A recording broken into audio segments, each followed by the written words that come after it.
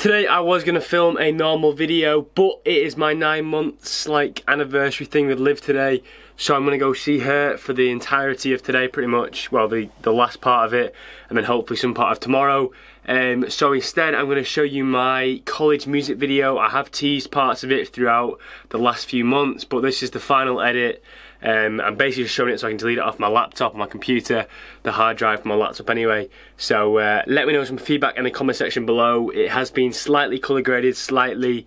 Um, this was before I learned how to do it. But yeah, let me know about the edit. And yeah, my friend BPlays posted his. I liked his a lot. That'll be linked below. Much better than ours. Um, he actually acted in his, which I thought was quite cool. I might have wished I'd done that now.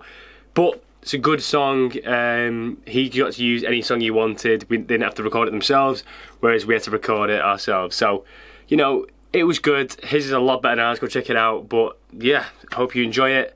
Uh, and I will make a proper video tomorrow to make up for this poor content. Uh, but yeah, happy nine months to Liv. Go comment that below uh, and enjoy the video. Bye.